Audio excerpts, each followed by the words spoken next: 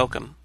I'm Sebastian Mahfood, and you're listening to WCAT Radio, the on air wing of En route Books and Media, bringing you the dulcet sounds of Catholic wisdom. Hi, this is Dr. Cynthia Toolin-Wilson. I'm here with my radio show, Author to Author, and tonight I'm going to introduce a longtime friend of mine, Father Bob Anello, who has written a very interesting book called Minor Setback or Major Disaster. Welcome, Father. Well, thank you very much for having me. Uh, how are you doing, Dr. Toolin? You're doing fine, I hope. I'm I'm fine, thank you. And how are you? Great. Great. Good. Um, Good. I have. Uh, you had asked me to put together a, or to prepare a prayer, and I'm going to use the prayer Yes. for vocations that the Society of the Missionaries of the Holy Apostles use in their in their prayer act life. Okay. Gracious God, Jesus has told us that the harvest is large, but there are few workers to gather it in. Pray that the harvest master will send out workers to gather it in. Thus we pray to you with confidence in accordance with the desires of his heart. Help all Christians to take seriously their responsibilities as citizens of the royal kingdom and as living stones of the church.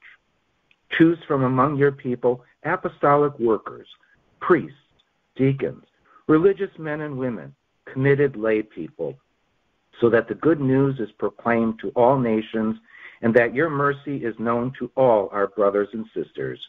Amen. Amen. Um, so this is uh, a very interesting book that you've written, and um, I understand also that there's a longer title than I'm than I have here. Oh yeah, the full the full marketing title is Minor Setback or Major Dema- Disaster: The Rise and Demise of Minor Seminaries in the United States, 1958 to 1983. Very interesting title. Well, I so was, I'm sure that uh, it's it's going to be a very interesting uh, a very interesting trip through those years as we go through this book. yes, actually, it starts in the late 1500s. Um, hmm with the, uh, or actually in the earth, early 1500s before the Council of Trent. And I actually did Mhm. carry the book up all the way through just before publication. I'm trying to remember. I think I contacted you when you were registrar for Holy Mhm, yes. Apostles enrollment Yes, information for 2015 or 2016. hmm Yep, So- I remember that. Yeah. So hmm I'll start with just a brief introduction to the book. The book is actually based on my doctoral dissertation uh, in church history, and as a few book reviewers noted, it still has the look and feel of a dissertation. Um, it's not as Mm. breezy as some history books, and there's fewer site, you know, situations of speculating the thoughts of people, either individual players or people as a whole. Um, hmm being a dissertation, I let the facts speak for themselves. And so one of the things is it makes the book less conversational. Um, Mm. Now, I did do some rewriting of the book itself, when uh, the dissertation, when I prepared, revised it for book publication, but it's probably about 90% still the dissertation. Okay. That's a, that's Now- fine. It's full of good information. The uh, the, the the first thing I, I I thought about was how did I come up with some of the initial ideas, and I go back to the mid 1990s, long before I even started thinking about my vocation to the priesthood. I'm an older vocation, as you well know, and hmm I had an observation uh, while uh, in those years. It was a situation in which behavior, specifically, um, what kind of which which NFL team people in Bismarck, North Dakota, cheered for, and I found that Mhm. people born in the 40s or earlier cheered for the Green Bay Packers, the people born in the mid to late 1950s and, and into the present cheered for the Minnesota Vikings. And it was kind of like, okay, well, why? One of the reasons I, I finally came up with was the Vikings were founded and started their first games in 1961. So the people who were coming of age before the Vikings were a team cheered for the Packers. The people who were coming of age when the Vikings were playing cheered for the Vikings. And it's really an interesting situation mm-hmm. of how you can have a time lag in something that occurs 15 years ago, 10, 10 15 years ago, that manifests itself mm-hmm. later. Now, this yeah. Mm-hmm. came into my mind when I started the initial research for the for the dissertation, and you know, uh, looking at birth rates in the 1930s and 40s to find the start of what I call the not so post World War II baby boom, and and its implications for the growth in seminaries and their later demise. And I'll get to that in a few minutes. Um, but one of the okay. things that it resulted in was an overbuilding of minor seminaries, which was in the 1960s one of the contributing factors to the collapse of minor seminaries. Hmm. Mm-hmm. So what I did, you know, from a construction standpoint, you know, just a little bit. Uh, I started with preliminary thoughts. They were papers that I wrote for myself on different subject areas that became the basis of the dissertation. You know, for mm-hmm. example, high school seminary and vocational recruitment versus college seminary and vocational recruitment. Um, and then what we could call pedagogical and administrative issues. Those would be the issues in the actual operation and what gets taught and formed, how you conduct formation in seminaries. Mm-hmm. Um, in starting to do that, I started to get a breakdown into the time periods for each chapter. I started out pretty much decade by decade 50s, 60s, 70s, mm-hmm. 80s. But that became the delineation for the body of the of the of the book, uh, chapters three and six, which are four different areas and four different types of challenges that seminaries were uh, facing. Uh, 1950 to 1950 became the future shock seminaries, which is kind of based on Alvin Toffler's uh, book Future Shock, which talks about mm-hmm. how we have challenges adjusting to changes in culture. Mm-hmm. 1960 to 66 became the short-lived phenomenon seminaries, um, and those were uh, uh, the seminaries that were part of the big boom in the late 1950s, early 60s, but didn't last too long. The two cases I have, they only lasted 10 years about. Mm-hmm. Then the next area was the endangered species, when the seminaries were starting to close left and right. That's the years 72 to 70, 1972 to 79. And then mm-hmm. finally, the last category, which is the survivors, which focuses in on two examples of seminaries that still exists today, um, and then a brief summary bringing it up to the current. Now, one of the things that I was doing, which most people do, is start to compile statistics. So I went, like everybody else did, I went to the Kenedy Official Catholic Directory, which is a book that's published every year. It's got tons and tons of statistics in it. Um, and but there was a problem with the Official Catholic Directory. It didn't have a breakdown of enrollments in seminaries based on the type of seminary, whether it was a high school. First, they used to be called minor or major, oh. and I'll get to that in a minute. Yeah. Um, but it didn't have any breakdowns. It just said, you know, there were this many seminary seminarians. Mm-hmm. So I started to look mm-hmm. at other statistics, like from the National Catholic Welfare Conference, the National Conference of Catholic Bishops, the National Catholic Educational Association. And what I found was an interesting thing. Not only did they have breakdowns between minor seminaries and major seminaries, but they also had breakdowns mostly for high school, college, and theology. Let's backtrack for a second. What's a minor and what's a major seminary? Okay. Minor seminaries go back to the Council of Trent. Back in the late 1500s, mm-hmm. 1560s. And they defined seminary as a 12 year period of formation for the Catholic priesthood. And they broke it down mm-hmm. into two sections minor seminaries, which covered the first six years, which we would think of as high school and the first two years of college, and major right. seminaries, which was the last two years of college when you would study your major, in this case philosophy, and the mm-hmm. theology field, which prepares you the final preparation for priesthood. Mm-hmm.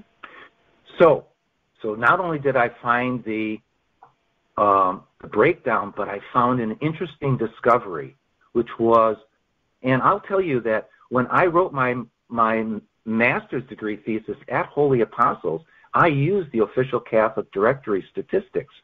But one mm-hmm. of the things I found when I started to look closely, the official Catholic directory, let's say for this year, 2020, is actually statistics for 2019. It's the mm. enrollment statistics for the year before. Uh-huh. And that's interesting because if you read a lot of articles written in the 60s and 70s and 80s about seminary, you know, the decline in vocations and seminary enrollments, a lot of them will point to the 1966 official Catholic directory, which shows a drop in enrollments in seminaries, and they'll say it was Vatican II. Yes, and, I've heard that a million times.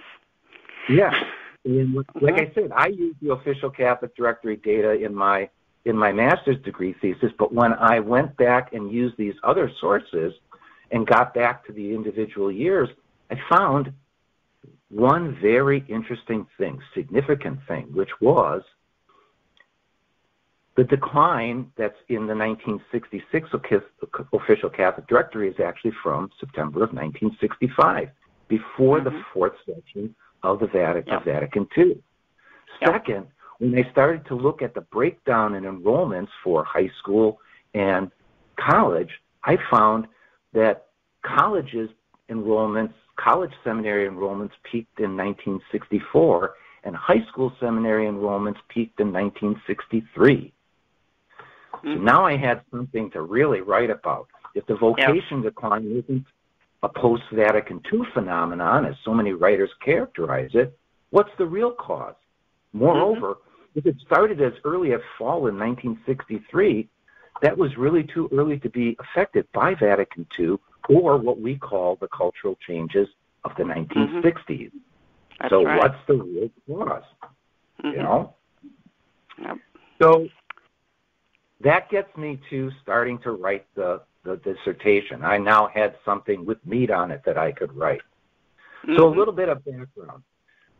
Back in the 14th, you know, the 15th and 14th century, before the Second Council of Trent, most men being prepared for the priesthood did it one of two ways. They did it by apprenticeship in a in a parish, or they did it by going to a university. The people mm-hmm. who apprenticed they learned how to celebrate Mass, hear confessions, and do the, the functions of a priest, but they didn't learn a lot of the theology. The ones who went to university, they didn't have formation programs, so they learned a lot of the theology and the scripture, but they didn't learn a lot of the pastoral activities. Mm-hmm. And so Council of Trent says, okay, we're going to start using something called seminaries, which are specialized schools for the formation of priests and they're for peop- for young men 13 to 24, which uh, you know leads up to ordination by around the age of 25. Now, the first diocesan seminaries mm-hmm. were in cathedrals; they were in the middle of the city, so there was still contact with the people. Mm-hmm. But then the religious community started to yep. step in to help the diocese. But they, they brought their tradition of formation for postulancy and novitiate temporary membership, which included a lot more isolation of, of their candidates. So it's, they started to shield seminarians from worldly influence. This Pope Pius XII, in his 1950 apostolic exhortation, Menti Nostri, on the development of holiness in priestly life, he starts to address this and as early as 1950, saying we need to have less isolation of seminarians. Uh, we also need to have mm-hmm.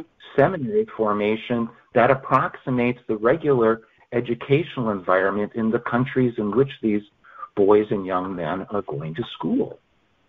Right. So he, this kind of sets the basis for uh, everything that occurs Second Vatican, leading up to Second Vatican Council and through Second Vatican Council. Mm-hmm. And so the next thing that I looked that was a major thing was so there was a major drop in family size during the Great Depression. The average children per woman per married woman dropped to about 2.25. Now in mm-hmm. 1942, with people getting married as men are going off to war, the average child per woman, children per woman jumps to 2.5. Then in the post-World mm-hmm. War II baby boom, it goes up to 3.1 in 1950, and it peaks in 1950 at about 3.8. Mm-hmm. So about 13 years after the beginning of the post of the not so post World War II baby boom, we start mm-hmm. to see a phenomenon increased vocations to the religious priesthood and religious life. Mm-hmm. And that generates a building boom in seminaries in the mm-hmm. you know starting in the mid 1950s. Yeah. And this is the glory years in the United States for seminary formation. We get a peak enrollment in 1964 of over 38,000 students attending. This is just minor seminaries high school mm-hmm. and junior college.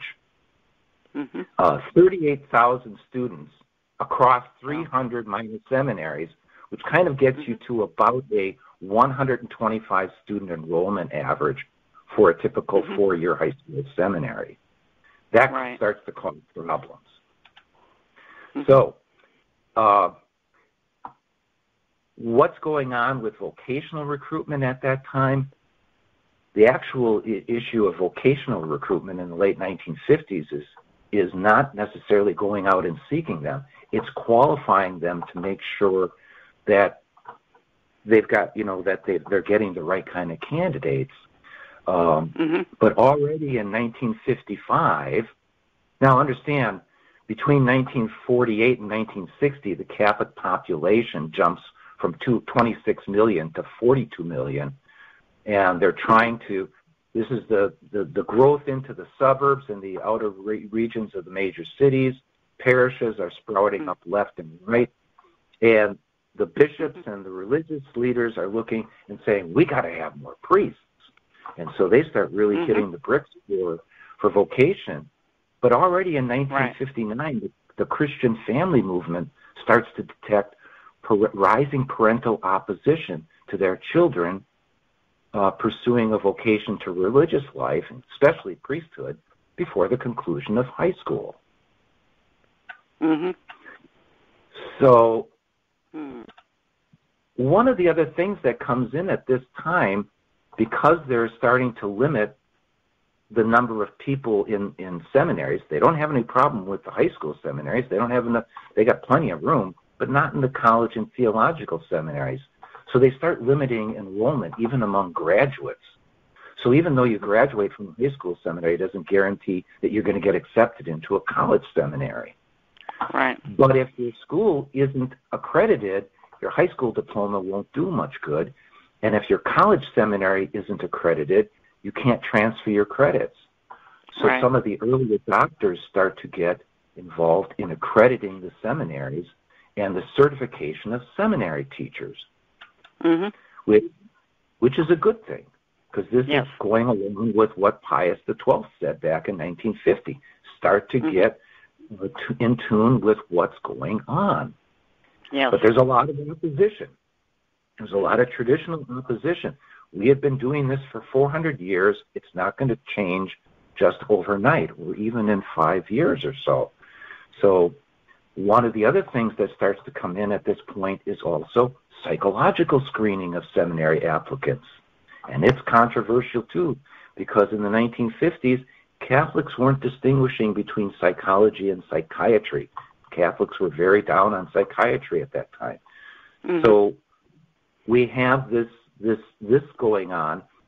And then there is another situation that comes in which is the approach that seminary formators for high school seminaries, remember we're talking 13, 14, 15, 16, 17 year olds, mm-hmm. they look at a, sem- a high school seminarian's vocational call much different than that of a theological seminarian's vocational call. They're looking at young teenagers and thinking it's all or nothing. They use terms yeah. like mortality rate, death of a vocation, mm-hmm. uh, and you're either in or you're out. Yeah. Mm-hmm. So this is kind of the environment we have going on in the 1950s. And around mm-hmm. that time, the National Catholic Educational Association sets up the seminary department to guide seminaries in formation. Now I'm going to have to kind of move along, but mm-hmm. in the 19 early 1960s, we start to see the reloc you know already in the 1950s we had seen the relocation out to the semin to the exurbs and the suburbs and one of the things mm-hmm. that starts to show up uh, among seminary rectors in the early 1960s is that they're seeing vocations still strong in the old Catholic areas, but they're not seeing it out in the, the new developments, the exurbs and the suburbs. And mm-hmm. they're, they're starting to see declines in entrance to uh, to seminaries, high school seminaries, mm-hmm. and that would be that that starts to cause them a certain amount of consternation. Now there was a guy Cornelius Cuyler. He was a Sulpician, and in 1965 he does this long range study going back to the 1930s. And one of the things that comes out of this study is that already in the late 1950s there was a drop in what's called perseverance to ordination, which is mm-hmm. a person who starts either at the beginning of high school or the beginning of college and continues all the way to ordination. Right. And so we've mm-hmm. got this drop in perseverance to ordination already starting four years before Vatican II. Mm-hmm. Yep. Well, in the meantime, in the United States, following Pius XII's guidelines, we shift from minor seminary, those six year, six year seminaries, minor and major seminaries, yep. to what's called 444, high school, college, and theological seminaries. Big mm-hmm. issue because in the canon law at that time, it pretty much defined seminaries as six years and six years. But they finally mm-hmm. got around to saying, yes, we can do this. Now we kind of bring it up to the Second Vatican Council, and one of the decrees of the Second Vatican Council called Optatum Totius, which is the decree on priestly training. Now, the preliminary drafts of, of this decree, they address minor seminaries or high school seminaries in a section on vocation. Later, they mm-hmm. start to expand it, and they bring forward a lot of the advice that Pius XII had given 15 years earlier in the decree Menti Nostri, Nostri. And mm-hmm. so they start to bring that forward as far as what should be the guidelines for seminaries in the United States. And there'll be high school, mm-hmm. college, and theological seminaries. And they do some things that change how we do formation. There's more emphasis on individual spiritual counseling. There's emphasis on mm-hmm. pastoral development, all of the things that, most of the things that we see in seminaries today. So now mm-hmm. I'd like yeah. to talk about the first two case studies. And mm-hmm. just what the case studies themselves are like 20 pages long for each of the case studies. I'm not going to do that. The first two case studies are long run seminaries that don't make it. They die okay. in the 1960s. St. Car- mm-hmm. Charles College in Catonsville, Maryland was run by the Sulpicians for diocesan priestly formation they were early adopters of accreditation and the four the 444 breakdown in in schooling. And in 1966, after all the dioceses started opening their own high school seminaries, St. Charles says, well, we can close our high school seminary and just focus on college formation. Well, in the meantime, mm-hmm. Within a few years of these high school seminaries being opened, they all start closing and college enrollments start to decline even before St. Charles' own high school program completely shuts down. and their college program only lasts about another four or five years before it too shuts down. The next, the next uh, future shock seminary was Queen of Apostles Seminary in Madison, Wisconsin. I picked this because it was a religious sponsored seminary, sponsored by the Society of the Catholic Apostolate or the Pallottines, though most of the seminarians mm-hmm. that went there were studying for the Diocese of Madison. Now, the Pallottines overbuilt mm-hmm. the school. They built it not just for 120, uh, 120 residential high school and junior college seminarians, but even though it was located in the country and not on a bus line, they built it for 200 day high school students. Wow. So they went through the same thing that St. Charles did. They built up their program. They started undercharging on their tuition. Then Madison builds their own diocese, and suddenly, instead of having 120 students, they only have 20 students. So they reinvent mm-hmm. themselves as a Catholic high school with about a dozen seminarians. All the dormitory space is now none, not being used. And even though they never fully got to accreditation, they, they opened to the public as a high school, but because they're located out in the outskirts of Madison, there's no bus service for day students. They never get the enrollments, and the high school closes in the mid 1970s. Mm-hmm. Yeah, that's pretty. T- those two examples are pretty typical of a lot of the seminaries that have been open for years and closed in the 1960s. So mm-hmm. we go up into the we go up into the uh, the late later 19, mid late 1960s one of the things that starts to happen is writers start writing, Catholic writers start writing about seminaries and how they're closing and how this is an example of how. Vatican II went wrong. It's used as an example of it. I'm going to give one example that was possibly valid, and it's altar boy. Mm-hmm. There was a close linkage between being an altar boy and entering seminary.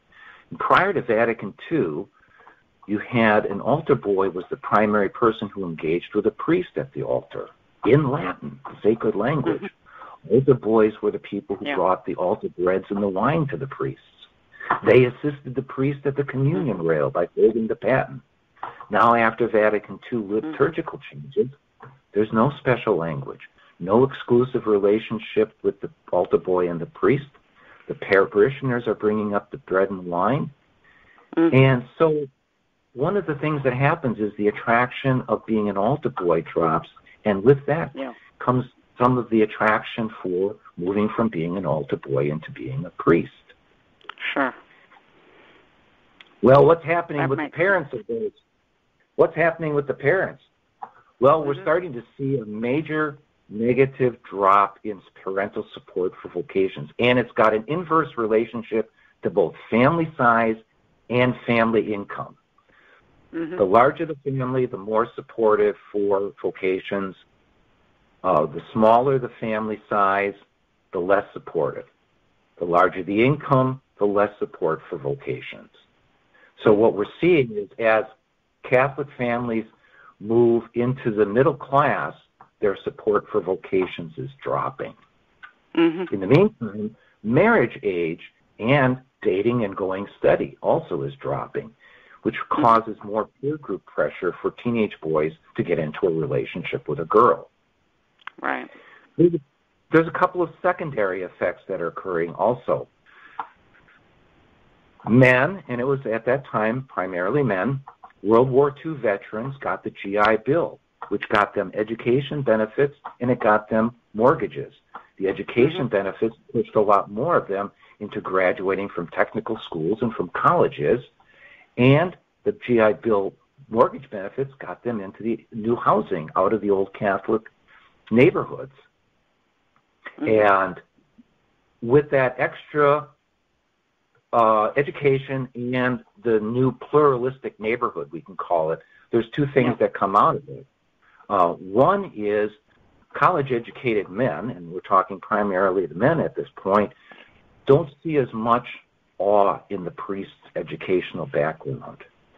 Number mm-hmm. two, they've got a lot more plural, pluralistic interaction with non Catholics uh, because of their military background and going to the local community college or the technical college. Sure. So they've learned that Protestants aren't the enemy. And so right. Yeah. there's, there's, there's kind of a lessening of what we would call the old Catholic ghetto. One other thing Mhm. starts to come in. 1958, the National Defense Education Act comes in, which makes student loans available. So financing Mhm. is available for- middle class students and their parents. And so the attraction Mhm. of the seminary college isn't as essential to a boy seeking the prestige of higher education.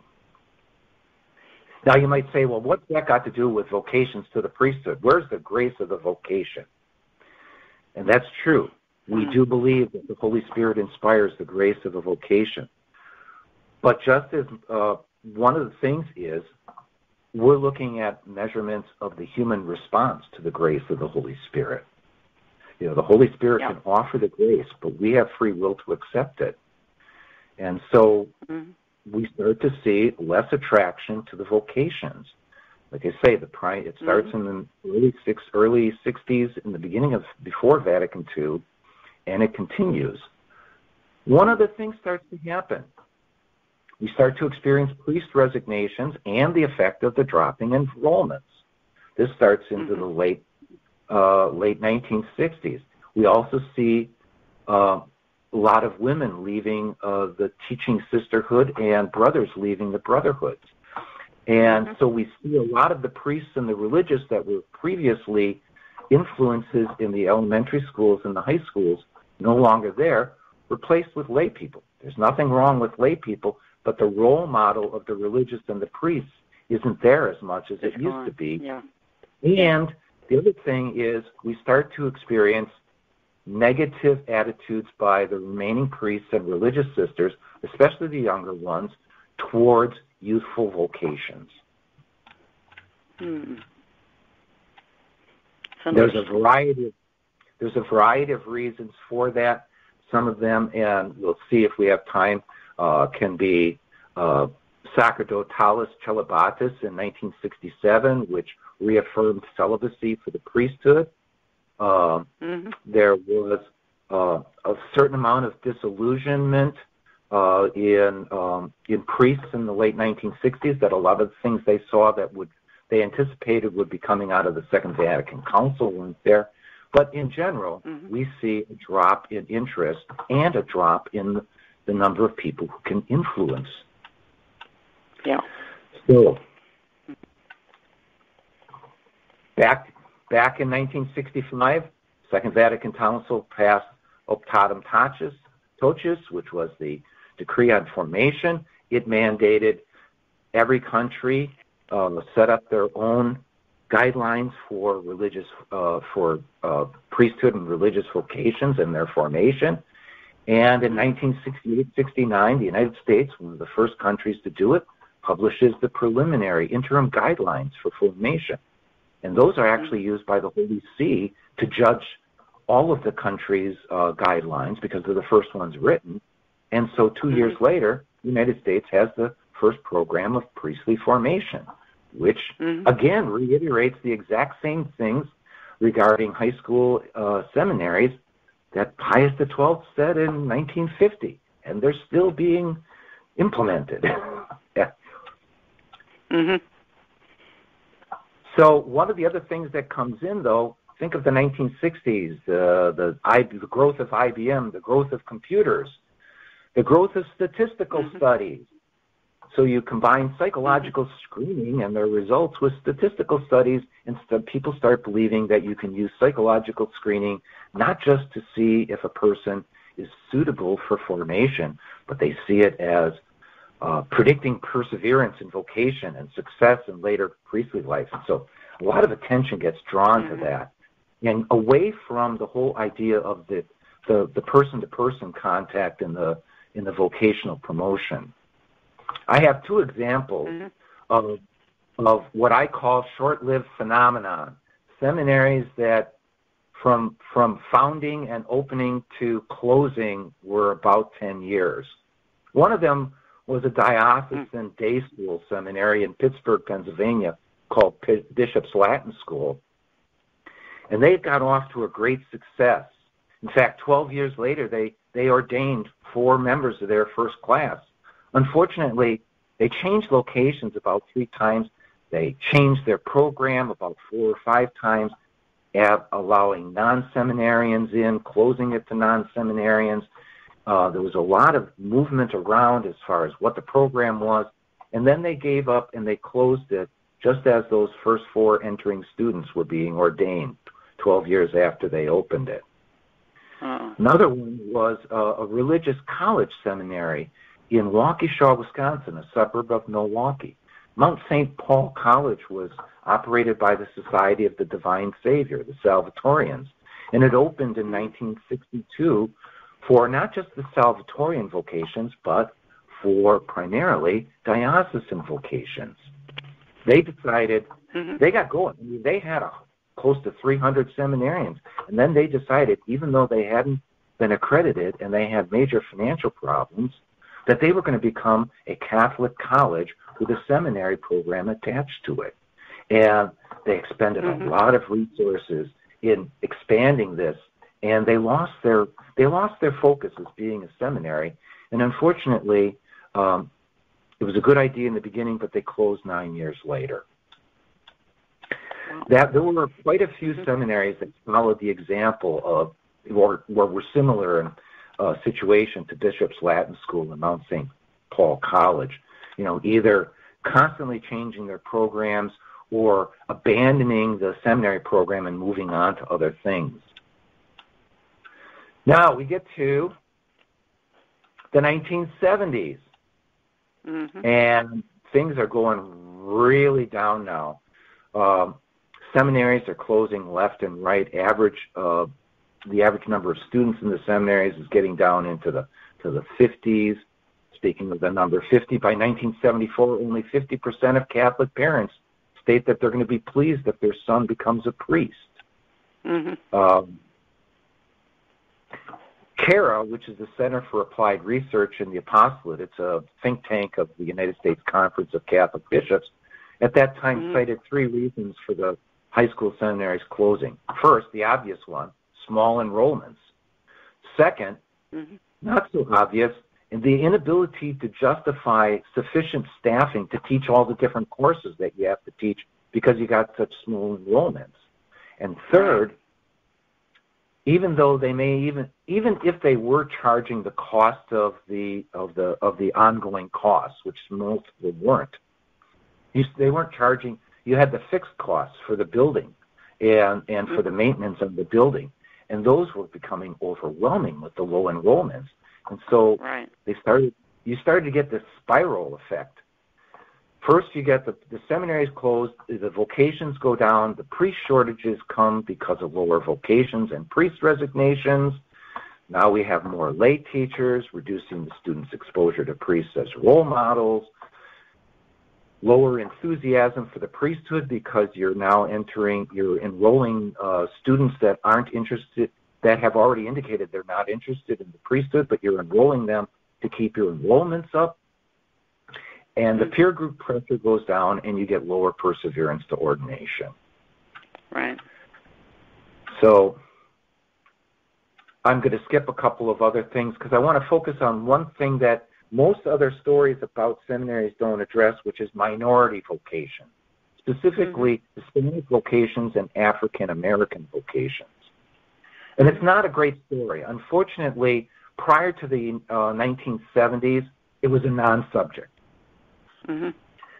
Uh, seminaries weren't interested in it. There was uh, there was uh, not only were we dealing with segregation, we were dealing with ethnic and racial bigotry, ex- low mm-hmm. expectations mm-hmm. on the intellectual quality of African Americans and Hispanics, and mm-hmm. a lack of peer group, a lack of peer group, and a lack of role models because there weren't that many black African American priests.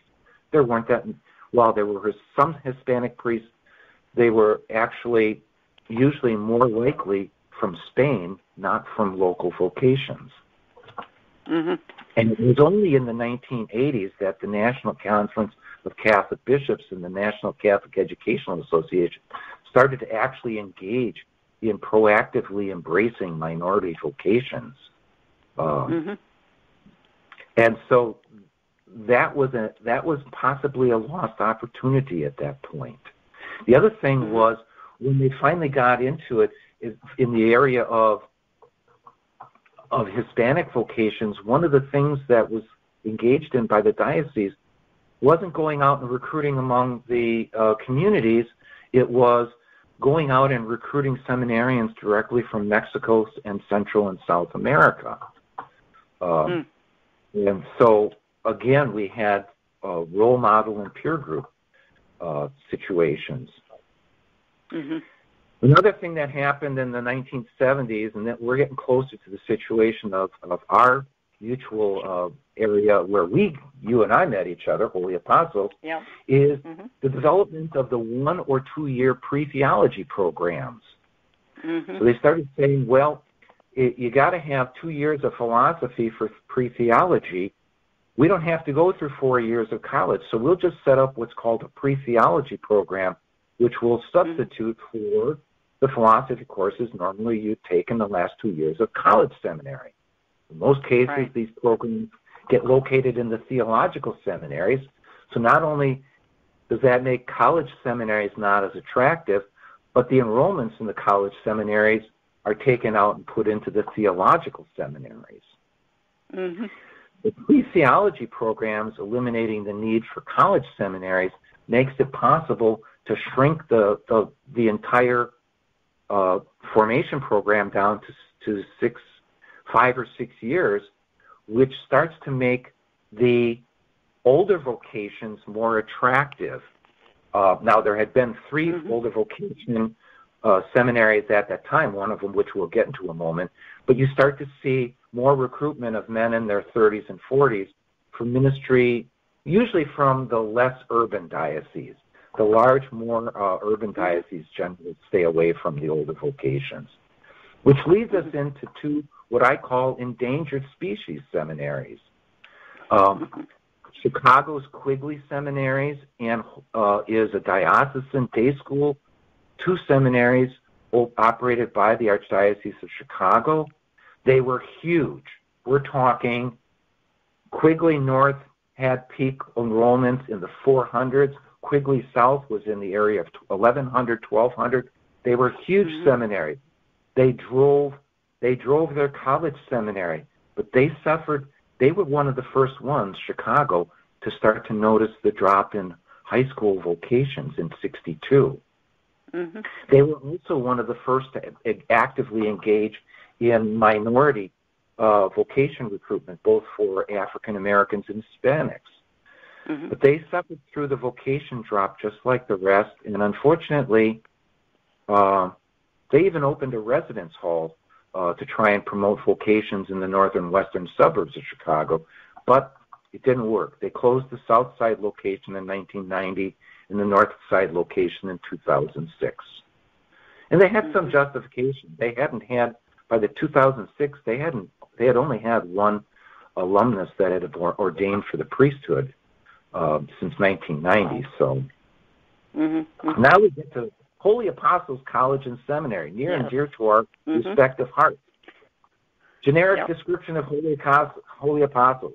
It's located in central Connecticut, sponsored by a religious community for both diocesan and religious seminarians. It's a college seminary at the time it's founded in 1956. It's dedicated to older vocation. And in the 1970s, mm-hmm. it shrinks almost to extinction. Remember, this is endangered species. Enrollments drop into the low 30s and the 20s, and it's on track mm-hmm. to close. Why? Yep. 100 miles away, a new seminary, a new theological seminary is open for older vocations that doesn't require pre-theology, doesn't require college. Holy Apostles is on the is is dying. Mm-hmm. They were wrong though. they were wrong. But why did I include Holy Apostles as an endangered species? Because Holy Apostles reinvents itself as a theological seminary. Every every time. Yep.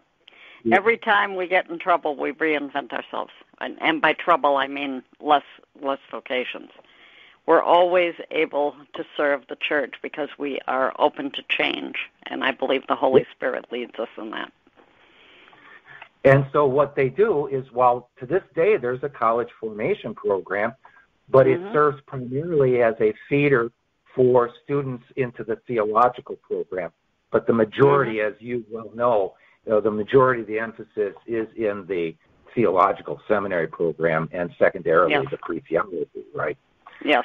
yes. So, so now we get to the last two, the last two seminaries, the survivors. There actually mm-hmm. are two high school seminaries that still exist. Mm-hmm. There's, oh, there's only a total of three of them, but there's two that actually are fairly healthy. Um, and one is uh, St. Lawrence Seminary High School in uh, central Wisconsin. It's a residential seminary. It's sponsored by a religious community for both religious and diocesan priesthood vocations. In the 1970s, it changed itself into a school of what's called School of Christian Leadership, which was more ministry oriented rather than priesthood oriented. Despite that, they go from enrollments in the 300s down to about 150, but they re they actually stabilize around 200, and that's about their enrollment today. About 200 mm-hmm. students. They're still active. They do act very active in minority student recruiting since the 1970s, and um, they've got they've they're, they're still alive and healthy to this day. Then there's Cathedral Preparatory Seminary in Queens, New York. It opens mm-hmm. first in Brooklyn as a day school seminary for diocesan vocations. It grows like the Chicago seminaries into like 1,400 students in the two campuses mm-hmm. and then craters. So they close the Brooklyn campus, they keep the Queens campus open, enrollments dwindle down into the 200s, but they still persevere in keeping the campus open. And mm-hmm. it's still open today. And what they have is interesting. Even though they're primarily a school of Christian leadership, not primarily a school of a high school seminary, they have a mm-hmm. student organization that's similar to the Future Teachers of America for the students who are considering vocation to the priesthood so that they can have mm-hmm. peer group support and they can have mm-hmm. role models of priests. So mm-hmm. that pretty much gets us up to the mid 1980s and towards the end of the book mm-hmm. where at that point in time, uh, the, the high school and college seminaries are a shadow of their former self. Um, mm-hmm. Enrollments are one tenth and even less of what they were at their peak in the 1960s. Mm-hmm. And so, what we start to get to is okay, why? What are the findings? Yeah. Why did this occur? Mm-hmm and it's all in a lot of the detail that I discussed. Um, it, you know, one of the things was, you know, the declining enrollments themselves were cited as an argument for their irrelevancy of high school seminaries, which carried on to the irrelevancy of college seminaries. Mm-hmm. Even though enrollments began declining before the conclusion, and if you look in high schools, possibly before the start of the Second Vatican Council, and definitely before what we would call the 60s, because those are the two mm-hmm. things that a lot of people in the late 60s and 70s pointed at, saying it was Vatican II, it was the culture changes in the 60s. And while those mm-hmm. may have secondary impacts, they I don't think they were the primary impact, because the perseverance to organization ordination was already falling in the late 1950s, and the or, and the enrollments were already falling overall enrollments were already starting to fall in the early 60s. We were already sensing, seeing in sociological studies declining vocational support from the pillars of vocations, parents, priests, and sisters. We were seeing the over decline in, in vocational support from parents from Catholic families that moved out of the traditional Catholic neighborhoods. And so, mm-hmm. and we also start to see the cutback in vocational recruiting by religious communities and and dioceses when the when the shortage in priests occur. They start cutting out full-time vocational recruiters. So Mhm. one of the things happens, we also stop studying vocations. The last major survey done on vocations was done in 1981, which showed 2% of Catholic teenagers were interested in, voc- in a vocation to priesthood and religious life. Mhm. So my so I'm not going to get into the details of the conclusions, but all of the things that I talked to in the last 40 40 minutes or so are the lead in for what I think caused it. And I close off the uh, the book and people will ask me, well, what do you think can happen if we want to get going with useful vocations again? And I offer some suggestions for organizations that might be interested in promoting and fostering useful vocations based on what I saw as either successes or pitfalls uh, among the high school and college seminaries in those years from the 1950s to the 1980s. So that Mhm. pretty much brings us to today. 2018 to 2019, there were 1,320, about 1,300 seminarians in about 30 college level priesthood formation programs. Now, compare that to 1969 when there were 13,400 enrollments in about 167 seminaries. In Mhm. 2018 2019, there are three high school seminaries with a total of enrollment of 360.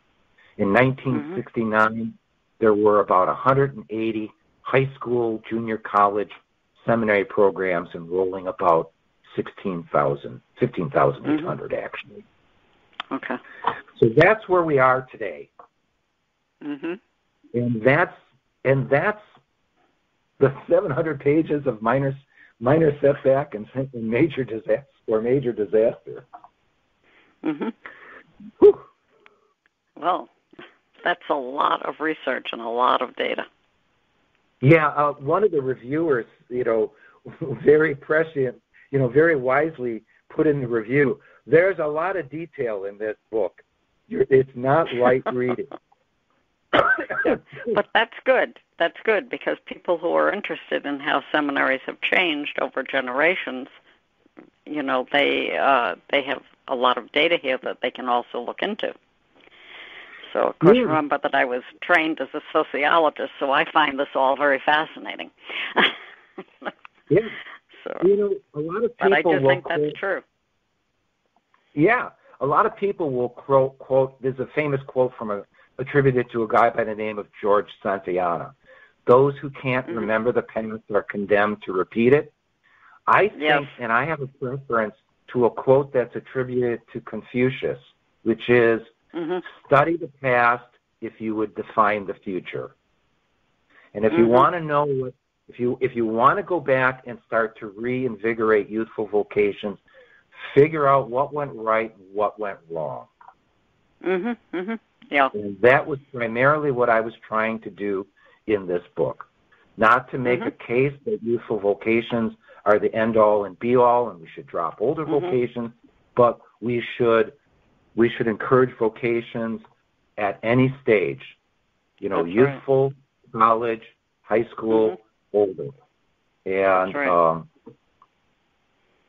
hmm you know To do otherwise is to try to get in the way of the Holy Spirit. Yeah, and and, you know, from a sociologist background, okay, 1981 says two percent were interested in in a vocational in, in, vo- in Mhm. pro, vocations to priesthood or religious life. Let's say people were Mhm. trying to answer what they thought the survey was takers wanted. So let's cut it in half to one Yes. Okay. Now Mhm. let's assume that since 1981 and 2020, it's dropped in half. So now we're down to Mhm. 0.5 percent interest. What is 0.5 percent interest of the Catholic boys in the United States today? There's about 2.4 Catholic boys in the United States today. That means if it's only a half a percent interest, that's a little Mhm. under 12,000 Catholic boys nationwide who may believe they have a Mhm. calling for priesthood. And it's the Right. all, by the way, the- Exactly. the demographic figures are about the same for girls. So there are Oh. these youthful vocations possibly out there. Let's what are we Mhm. doing? I'm not trying to editorialize, but don't make them jump through hoops to get assistance. Reach out, provide encompassing programs. Mm-hmm. Mm-hmm. So I'm just very, my very interesting. As, as you know, I, I. I timed this to make sure I'd make it in 60 minutes. Oh, you made it. but uh, no, this is this is a very interesting study. Of course, um, I've worked at Holy Apostles. I, I converted in 1988 and uh, started studying there. I was already a doctor, and I uh, went in '95 to study for my license. Came back in '97 when I had it, and I work there now. It'll be um, it'll actually be 20 23? yeah 24 years Okay. in August. And so um, I've seen a lot of changes in the seminary world myself just in those 24 years. You know, what I see uh, different from age is I see different ethnicity. So we have seen, um, you know, we've seen the more traditionals, then we saw older, more traditional, you know, ethnically more traditional, and now we have uh, many, many Vietnamese, and uh, you know, here at uh, on campus, and we help to train priests in Africa, in Tanzania, and in Eritrea. Um, you know, so the the call to form priests hasn't changed. It's just that the demographics have changed, and that's something I think that we often don't think about. So Yeah, one of the things I, I worked for, I ministered at Sacred Heart Seminary and School of Theology for for for a few years. Uh, that's another seminary Mhm. for what they call mature vocations, which is experiencing a higher number. And one of the things that we we talked about there, and I've talked about with some of the folks over at Holy Apostles, is that more of the traditional theological seminaries are opening their programs to older vocations yes, to fill seats. Mhm. And, Well, and then- really, to just to fill seats. Because Well, I mean, I find I find there's a lot to argue for the older ones. Yeah, I mean, I'm, I'm saying it in the sense of um, if you've got 120 beds or 200 beds in a seminary, and you've you've only got it 80% full, and you can get another Mhm. 20% by getting rid of your previous prejudices against older vocations Mhm. Okay. in your Yeah. seminary. Yeah. um, Yeah. you can you Yeah. can fill your seminary beds. Uh, and I'm not saying that that's an intentional thought. I'm just saying it's Yeah. one of the things that I've observed. Um, I guess Mhm. one of the as, as we're coming to the end, you know, one of the things is, you know, like I say, some people have said that I'm I'm on the bandwagon for returning to the glory days of the 50s, and I'm not. I'm you know Mhm. I'm not trying to get to some preconceived traditionalist uh, view. I'm just trying to open the Mhm. eyes and ears of the bishops, the religious superiors, those who work in vocations, and those you know who in, you know in the parish life. That vocations are there at every age, and we need to have programs because we might be Yeah. missing out on them. Yes. Yes. I agree. They do occur at all Mhm. ages. and and we're we're den- we're possibly denying the Catholic youth of today the opportunity to engage in a vocation that they might find is very rewarding. Mhm. I agree. So, so there it is. Yes. Well, that's that's an impressive piece of work, uh, Father. I'm very impressed. Um, and it does have a lot of data in it, uh, true. But for people who are really interested in what goes on uh, over time in the seminaries, I think it's very useful. Um, you know, because you do know where to look and and what to examine just by looking at your numbers. So yeah, how long did it? Three years Go ahead. research. Three years oh research. boy, I believe it. One year. and how many to put it together? Yeah, Uh, three one years of year writing research. Okay, Three years okay, that's research. not. One year writing Yeah. and defended. Yeah, good for One you. of the um, unfortunate situations as we're coming to the end was that the um, just as the book was coming out, the United States Conference of Catholic Bishops got hit with the whole situation of um uh, another round of, of, of pre-sexual abuse revelations, and Mhm. so just at the point the book came out, the the bishops and the vocation directors and the religious were busy focusing on other things, you know. So Yeah. now I'm hoping I'm hoping one of these days the the whole there it will be recognized, you know, uh, Mhm, among mhm. those who work in vocations. Right. But we're coming down so, to the too. last minute, Dr. Toolin. Okay. Yes. Mm-hmm. And I have a closing prayer. Okay. In the name of the Father, the Son, and Holy Spirit. Amen. Amen. God our Father, we give you thanks for this grace time, this time to discuss together how we respond to your call to ministry in your church. We ask you to send among us your Holy Spirit to shower each of us with the gifts of the Spirit, wisdom and knowledge, understanding and counsel, so that with fortitude we may follow your will and demonstrate through our thoughts and actions love for you and for our brothers and sisters. And we ask this through Christ our Lord. Amen. Amen. Amen. Well, thank you for letting me interview you. I found it to be very interesting, and I'm sure that our listeners will too. And uh, I hope to see you. I hope to see you on the Holy Apostles campus someday. I, I hope to be out on the East Coast one of these days. That's great. That's great. Okay. Well, again, thank you very much. blessings on you and your ministries. Thank you. Thank you. All right. Bye bye. Hello, God's beloved. I'm Annabelle Moseley, author, professor of theology, and host of Then Sings My Soul and Destination Sainthood on WCAT Radio. I invite you to listen in and find inspiration along this sacred journey we're traveling together to make our lives a masterpiece and, with God's grace, become saints. Join me, Annabelle Moseley, for Then Sings My Soul and Destination Sainthood on WCAT Radio. God bless you. Remember, you're never alone. God is always with you.